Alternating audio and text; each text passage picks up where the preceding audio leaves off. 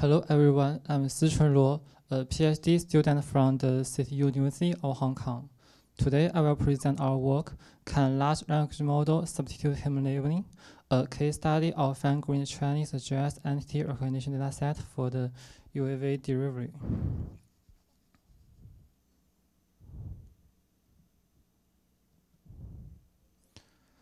So the named entity recognition is a crucial subtask of natural language processing that focuses on identifying and categorizing key information, that is, entities, in the text.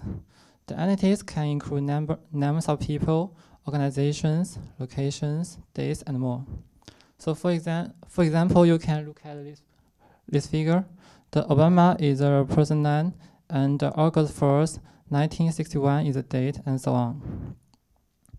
The transformer models introduced in the paper Attention is All You Need have re revolutionized NLP tasks due to their ability to capture complex dependencies in text through the uh, self-attention mechanism. And the BERT, which is bidirectional encoder representations from transformers introduced by Devlin et al. in 2018, has set new benchmarks in the various NLP tasks, including NER tasks. And BERT architecture allows it to consider context from both left and right of a word simultaneously, and can lead into a deeper understanding of the word semantics. So the unmanned aerial vehicle UAV delivery system in China is an exciting step to, towards re revolutionizing the traditional uh, delivery industry and meeting the growing demands. Companies such as Meituan are leading the charge using drones to deliver goods to customers. And you can see in this figure, the restaurant put the food within the box and use the UAV to deliver the food to the customers. So this system relies heavily on accurate location data to ensure that the deliveries reach the right destination. This is why where the NER comes into play. So when a user inputs their address, the larger models uses the NER to extract essential components such as the street names, buildings, floors, communities, and so on. The extracted data is then converted into the precise coordinates through the geocoding technique and allowing the UAV to pinpoint the exact delivery location. So the effectiveness of this NER model is dependent upon the availability of specific fine-grained Chinese uh, NER dataset for model training, as you can see in this figure.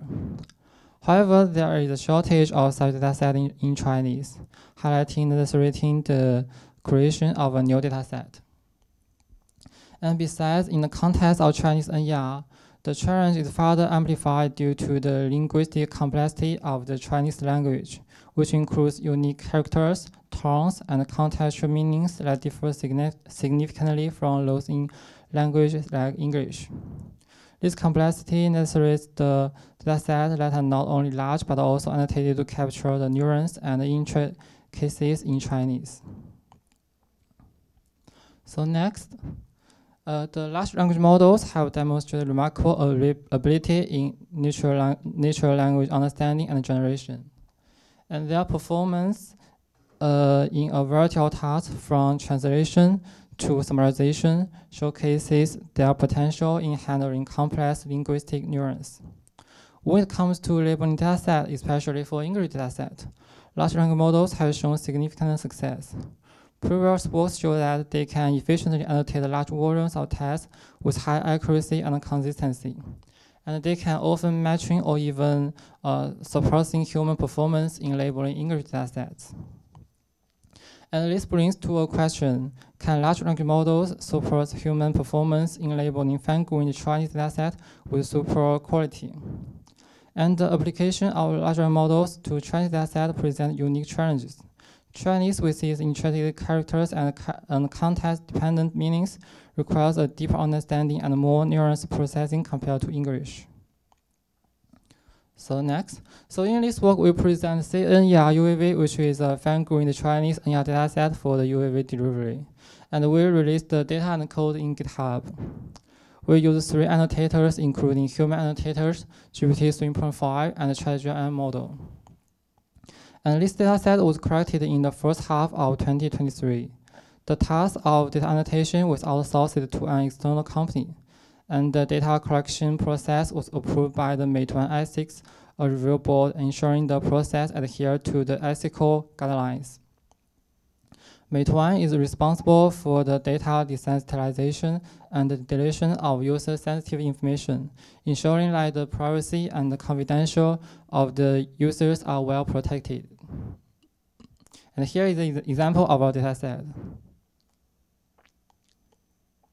So next, so our dataset compilation process preliminarily adhere to this flowchart. So initially, we parse the historical order logs to extract the user's order information. And subsequently, we identify and extract the address, applying predefined rules to filter out the relevant ones.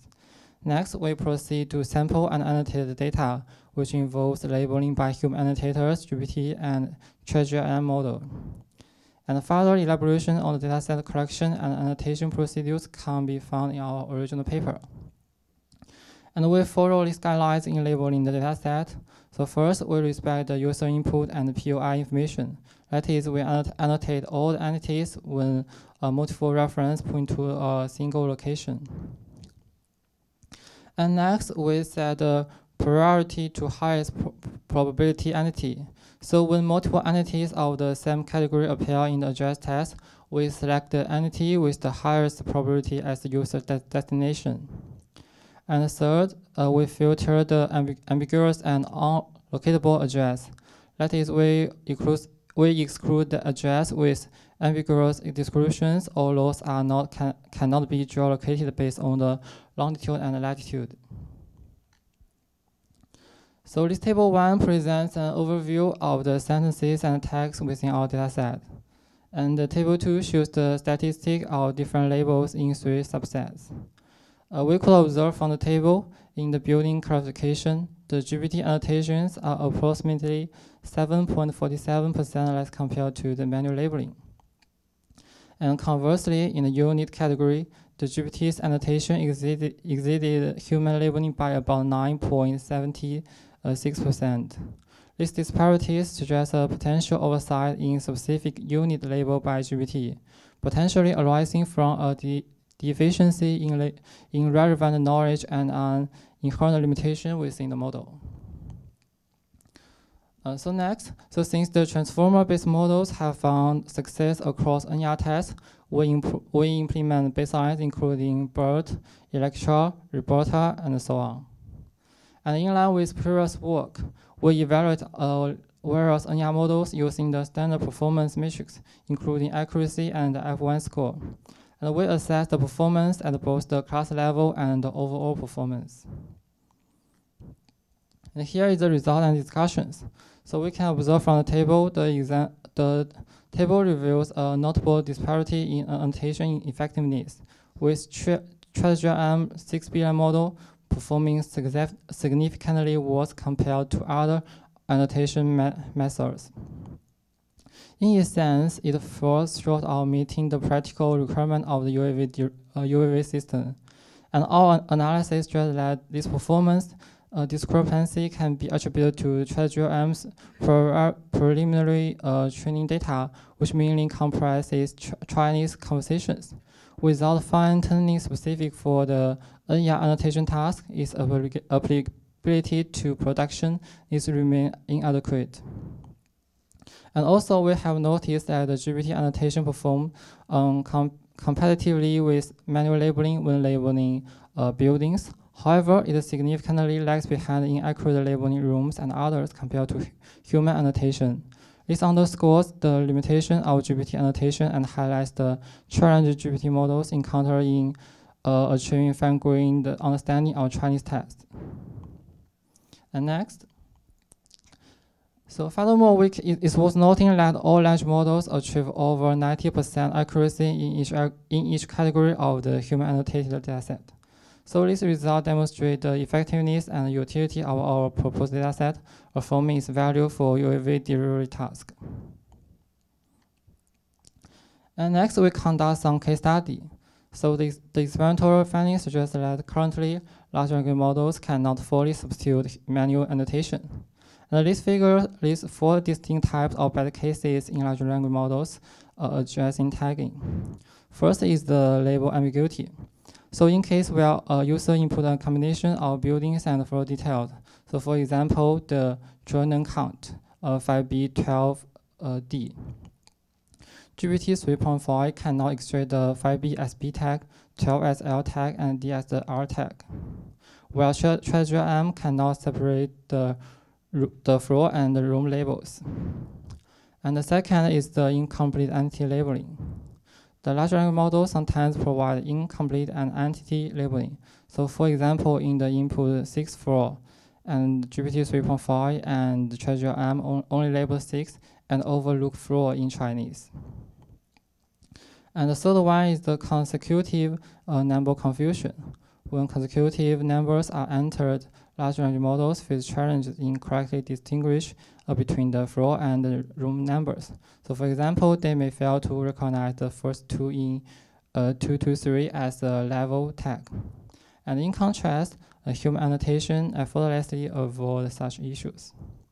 And the, la and the last uh, problem is the incapability for long text.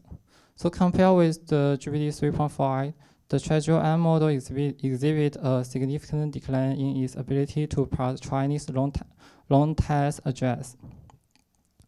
Uh, this aligns with our experimental findings. So to summarize, the large language models excel with singular and standard uh, address information, but fall short in semantically rich and sensitively flexible address. So enhancing large language models Chinese compre comprehension capability is a promotion research avenue.